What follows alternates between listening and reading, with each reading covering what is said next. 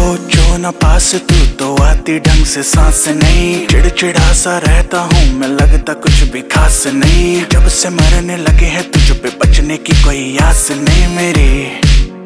ओ, ज़िंदगी में आई